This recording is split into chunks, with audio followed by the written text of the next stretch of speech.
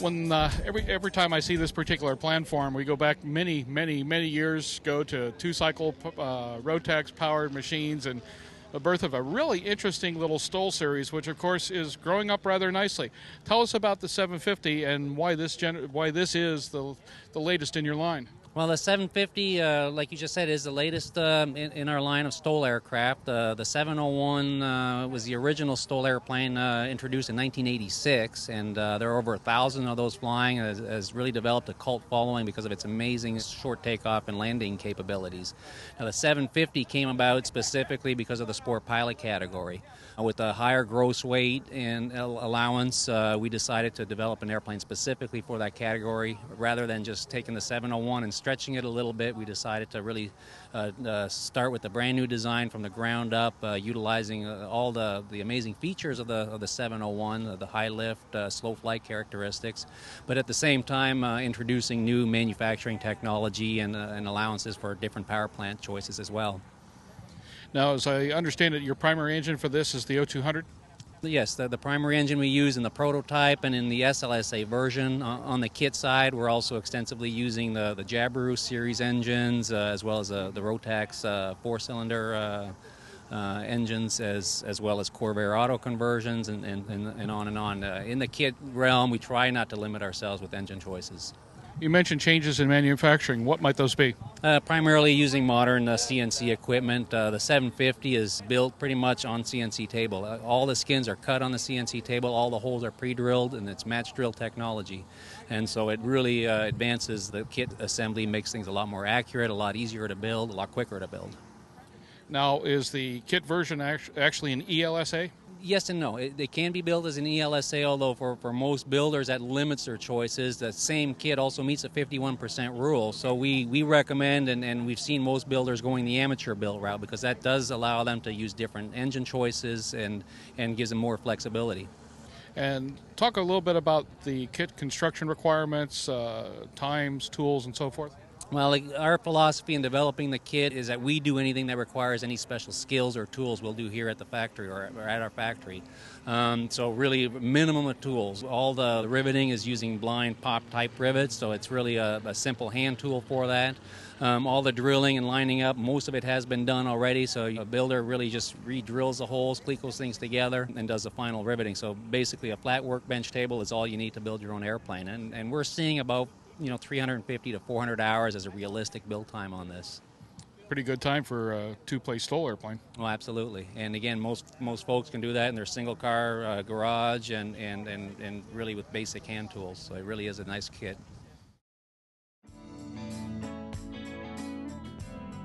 If you own a Cirrus today or if you are considering the purchase of a new or used aircraft, consider this.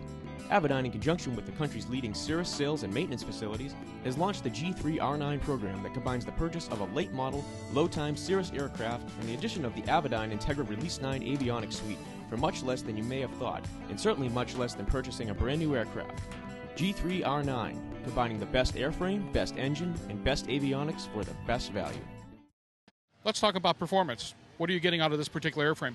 Well, this is a type of airplane you really have to fly to appreciate it because, uh, you know, the numbers, it's not a very fast airplane, uh, but at the same time, it's all about STOL, short takeoff and landing with the Continental O200, the takeoff uh, 100 feet at gross weight, rate of climb about 1,000 feet per minute, and about 100 mile an hour airplane. So it, it's not a very fast airplane, but I guess no SLSA airplane or, or light sport is fast by definitions. But uh, it's really developed for off-airport operation. We've got a really heavy-duty gear, which of course is a bit draggy, but again, it allows uh, the owner and, and pilot to land it virtually anywhere and uh, again, very good slow flight handling characteristics. We've got a lot of control surfaces, a lot of rudder, a lot of aileron, so it's really designed to fly at low speeds, and it does that extremely well and very safely.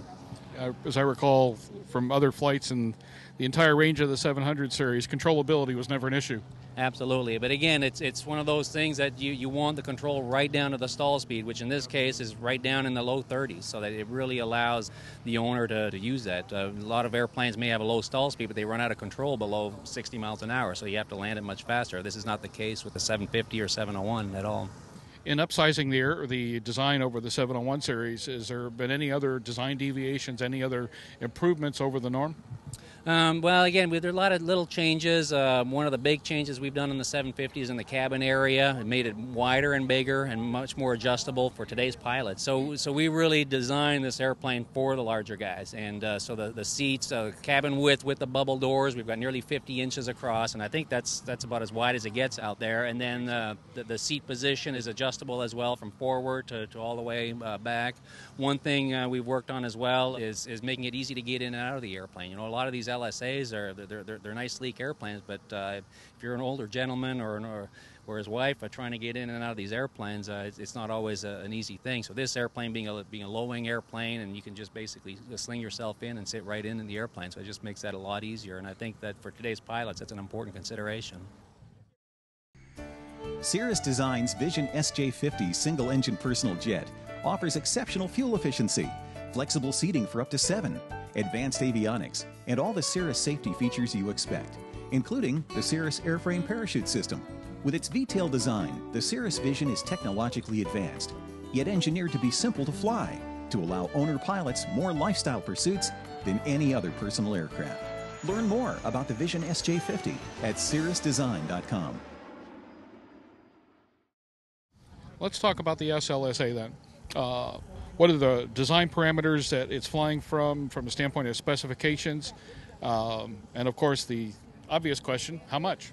Well, as a flyaway SLSA with a brand new uh, Continental O200D engine, uh, we're looking at just under $100,000, uh, $99,000, which in today's marketplace seems to be really quite competitive, and including a relatively simple but modern panel as well with the, with the glass panel. As an SLSA, uh, it, it is a bit more defined than a kit airplane, so it has a certain list of features and, and so forth, uh, but uh, again, we find it's very competitively priced. Who's who's your builder or buyer these days? Are you identifying any particular market segment? Uh, not really. Um, you know, we, we find uh, with the STOL airplane, it, it, attracts all all kinds of people. We get a lot of uh, ex-commercial, military uh, pilots that just want to go back to the basics of flying, backyard type flying. We get a lot of ultralight type people that, for them, this is a step up from flying the lighter ultralights. Uh, so one thing I've learned in the kit industry, it attracts all all kinds of interesting people. And uh, the, with this with the STOL airplane, it, it it certainly does does that as well. And finally, how do you see your company's future in the LSA market? It, it's it's a different business than it was when it was envisioned. Of course, it's been a turbulent uh, upbringing at various times. The associations either looked down on it or tried to kill it. Now they're all trying to take credit for it. And then, of course, we now have this real interesting dichotomy of Cessna and Piper battling it out for primacy in an industry that in the past nobody thought they'd be involved in. Right. I, well, I, you know, I, I, think it's it's nice to see Cessna and Piper enter finally enter and, and quite frankly, I think Cessna and Piper they're still they're still the new kids on the block in, in this case because uh, a lot of us have been around a lot longer in this industry than Cessna and Piper have. So, uh, but but I think there's certainly a welcome addition um, from my my side of the, of the market. You know, our, our background is, is in kit aviation, and we, we don't plan on changing that necessarily. We just want to make the LSA aircraft, SLSA aircraft available to those that don't want to build, but I still see the main market for our company and our products as, as being a low-cost, entry-level uh, airplane that can easily be built uh, at home and, and, and flown from there. Sebastien, thank you.